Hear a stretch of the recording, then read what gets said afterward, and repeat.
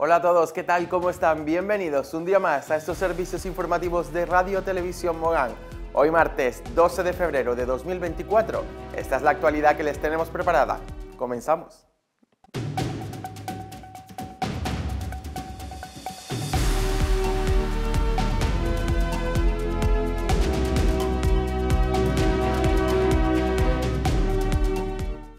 El Ayuntamiento de Mogán ha sacado a licitación las obras de renovación aledañas a la calle del Perchel para la mejora del alumbrado y las aceras. La Junta de Gobierno local ha aprobado este martes sacar a licitación por valor de 450.000 euros las obras de rehabilitación del trayecto comprendido entre la playa del Perchel y la rotonda de la entrada de Arguineguín.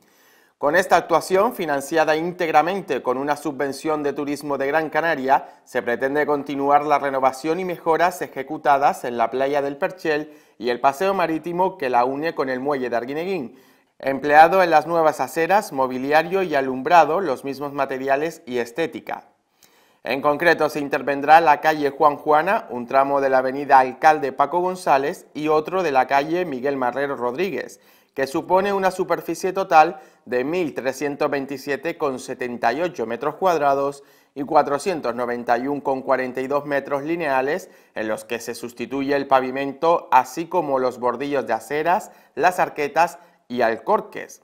También se instalará nueva iluminación que será de tipo LED más eficiente y rentable.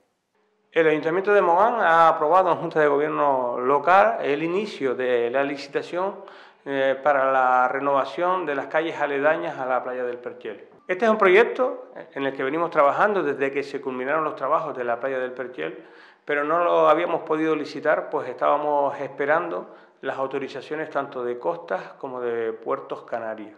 Una actuación que nos comprometíamos cuando inaugurábamos dicha playa y que afectará sobre todo a las calles Juan Juana y José Manuel Santana, que verán renovadas sus aceras, también mejorada la iluminación.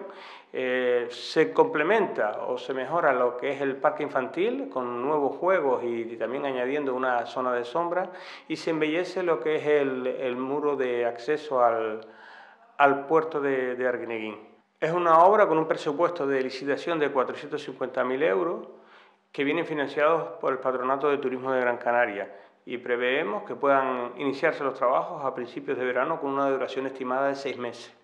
El Ayuntamiento de Mogán vuelve a contar este 2024 con una técnico especializada en el desarrollo y la ejecución de acciones que promueven la economía local y el empleo. Se debe al programa de promoción del desarrollo de la actividad económica PRODAE. Con la participación en este programa, el consistorio resulta beneficiario de una subvención que permite financiar la contratación de esta agente de desarrollo local en un 48,42%, procediendo el restante de las arcas municipales. La técnico, además de asesorar de forma personalizada a los vecinos que así lo soliciten a través de la Agencia de Empleo y Desarrollo Local del Ayuntamiento, gestiona actividades y talleres gratuitos para personas desempleadas y apoya al resto de integrantes del área de empleo en gestiones administrativas. Las personas interesadas en apuntarse en la bolsa de empleo del Ayuntamiento de Mogán pueden acudir a la AEDL los martes y jueves de 9 de la mañana a 1 de la tarde.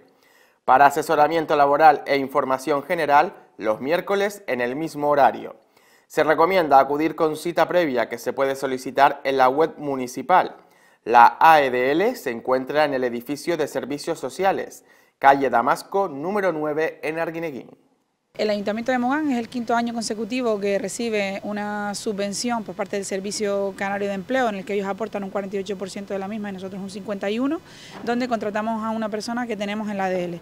Esa persona, entre sus funciones, tiene la parte de organizar todos los cursos gratuitos y formativos que hacemos en, el municipio, como ha sido todo lo que tenga que ver con soldadura, pintura, el de camarera de piso, el tema de la parte de gobernanta, y además eh, todas aquellas personas que de alguna manera quieren eh, emprender algún negocio, quieren conocer los recursos que existen, que, podemos de alguna manera colaborar desde la ADL y desde los recursos que existen en, otras administraciones públicas o en la parte privada, esta persona eh, está preparada para de alguna manera poder eh, darle la información pertinente a estas personas.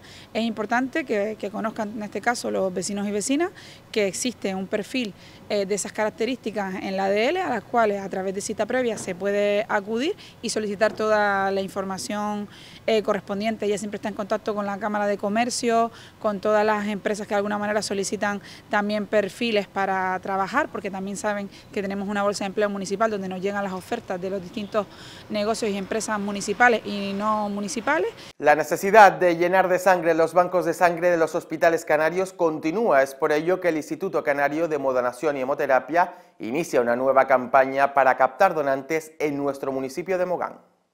El Instituto Canario de Modonación y Hemoterapia comienza una campaña en el municipio de Mogán con una unidad móvil que permanece operativa durante toda la semana desde ayer, a excepción de hoy martes, festivo por carnaval. Está situada en la Plaza Pérez Galdós, en Arguineguín, conocida como la Plaza de la Iglesia. El horario será el lunes de 10 de la mañana a 1 y cuarto de la tarde y de 4 y media de la tarde a 8 y cuarto de la tarde. Miércoles y jueves de 9 y media a 1 y cuarto y de 4 y media a 8 y cuarto. El viernes la colecta de tarde cerrará a las 8. Simultáneamente, otra unidad móvil se ha instalado el lunes en el Complejo Deportivo de Mogán, Los Montiscos, junto a las piscinas municipales, en horario de 10 a 1 y cuarto y de 4 y media a 8 de la tarde. Puesto que hay múltiples variables que pueden determinar la idoneidad de una persona donante, el Instituto Canario de Modonación y Hemoterapia pone a disposición de la ciudadanía en su página web efectodonación.com un cuestionario de autoevaluación con el que comprobar si se puede donar sangre y donde además también figuran los requisitos básicos e indispensables para poder llevar a cabo la donación. Cabe resaltar que durante la época de carnaval bajan las donaciones pese a que incrementa la demanda en los hospitales, bien sea por accidentes o sucesos inesperados. En Canarias se necesitan de media 300 bolsas diarias de sangre para mantener el correcto funcionamiento de los bancos en los hospitales del archipiélago. Y presten mucha atención porque a partir de mañana 14 de febrero desaparecerán de la TDT aquellos canales que emitan bajo la señal SD y solo podrán visualizarse aquellos que lo hagan a través de la señal HD. Desde hace unos meses se lleva informando a la ciudadanía sobre este cambio en la TDT que será transmitida únicamente en HD, lo que significa una mayor calidad de imagen y sonido, diciendo adiós a los canales en calidad estándar, los SD. Por ello, aquellos ciudadanos que todavía no cuenten con un televisor o receptor compatible con HD tendrán que renovar sus equipos si desean seguir viendo los canales de la TDT. El proceso de apagado se llevará a cabo de manera gradual, con casos especiales como el de la televisión canaria, que se ha adelantado a la fecha establecida, apagando su canal el SD el pasado 16 de enero. A partir de mañana, 14 de febrero, comenzará a producirse la desaparición de dichos canales. A continuación ofreceremos un vídeo explicativo con las instrucciones a seguir. La televisión del futuro empieza hoy. A partir del 14 de febrero cesan las emisiones en SD y todos los canales emitirán con una resolución mínima de alta definición. Ve ajustes de tu televisor, selecciona los canales en HD y ordénalos como más te guste. Mejor imagen, mejor sonido y una experiencia más completa. No esperes al último día para comprobar que tu receptor está preparado para el HD. Para más información, entra en televisióndigital.es. Un objetivo de la Unión Europea. Avanzamos con Europa.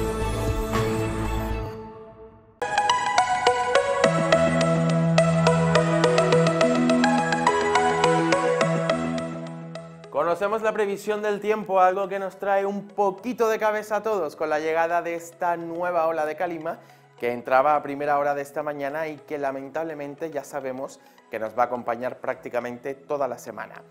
Comenzamos el repaso por el archipiélago Canarios con la provincia de Santa Cruz de Tenerife, donde como pueden comprobar será el sol el principal protagonista, pese a las nubes que puedan presentarse en La Palma y en el Hierro, será el sol el que lidere toda la jornada a lo largo de mañana. Únicamente en la última hora de la tarde que bajen un poco las temperaturas, especialmente en el noroeste de Tenerife, será cuando las nubes hagan acto de presencia y puedan incluso abrigarse un poco, algo considerable porque esta zona del archipiélago ya sabemos que las temperaturas cuando bajan se notan especialmente.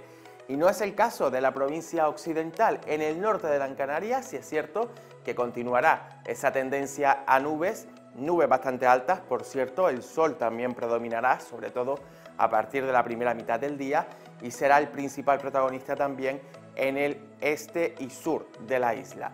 Lo mismo en Fuerteventura y Lanzarote, que podrán disfrutar de días de playa con un cielo completamente liderado por el astro rey. En cuanto a la isla de Gran Canaria, como les contaba antes, solo será la parte norte y noroeste la que tenga presencia de nubosidad. Las temperaturas tenderán al alza, sobre todo a primera mitad del día.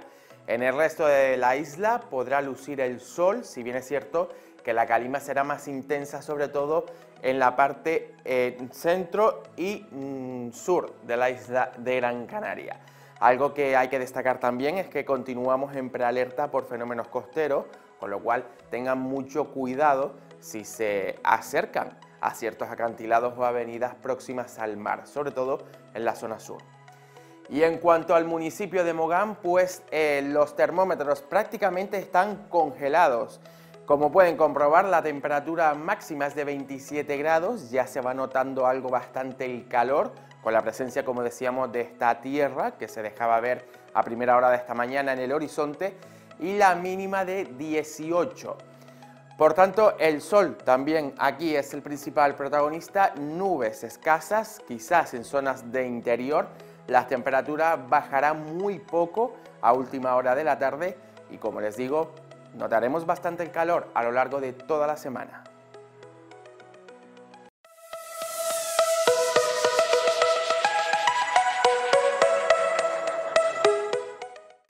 Y esto ha sido todo por hoy. Como siempre, darles las gracias por estar ahí y confiarnos la actualidad local. Recuerden, síganos en redes sociales para más información. Nos vemos mañana a la misma hora. Sean felices.